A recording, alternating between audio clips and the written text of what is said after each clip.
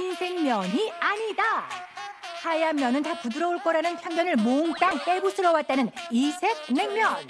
소면, 쌀국수와 차원이 다른 쫄깃함은 물론 쫄면과 비교해도 뒤지지 않을 정도라는데요. 이 수상한 흰 면발 하나로 냉면계를 완전히 뒤집어 놓은 이 독특한 음식. 아 이거 녹마냉면이에요. 동마냉면이에요. 네?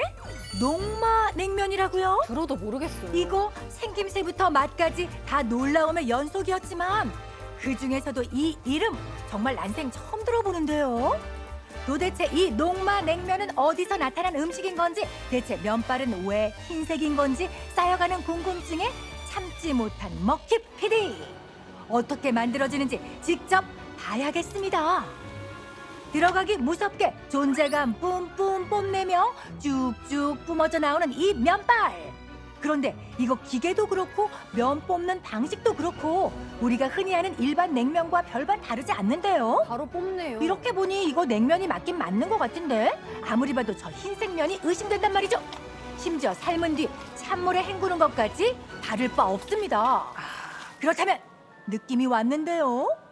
흰 면발의 비밀은 오직 재료. 가루? 주인장 알려줘요.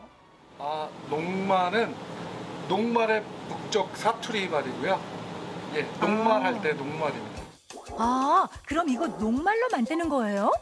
감자 전분으로 만든 국수 녹말 국수를 녹말하고 불러요. 아니, 감자 전분으로 만든 떡이나 수제비는 자주 봤지만 면을 만든다고요? 면이 만들어져요?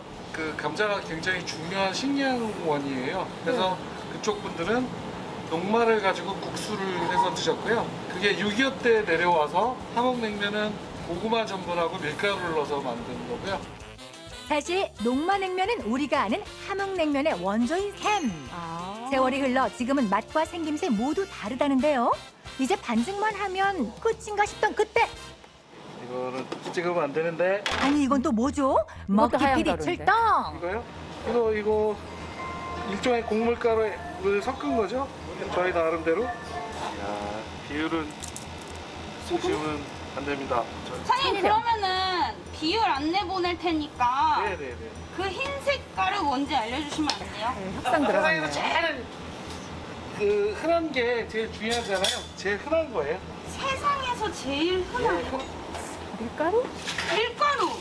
어 딩동댕 감자 전분이라 어, 반죽을 하면 바로 굳어요. 그래서 즉시 즉시 반죽을 해야 되는데 항상 반죽할 수가 없거든요. 그래서 여러 실험을 통해서 계산을 했습니다. 오랜 시간 연구한 만큼 비율은 특급 비밀이라는데요. 하지만 녹마냉면 고유의 맛을 해치지 않을 정도로 아주 소량의 밀가루만 넣고 있답니다. 게다가 반죽할 땐 뜨거운 물만 사용하는 익반죽 기법을 고집한다는데요.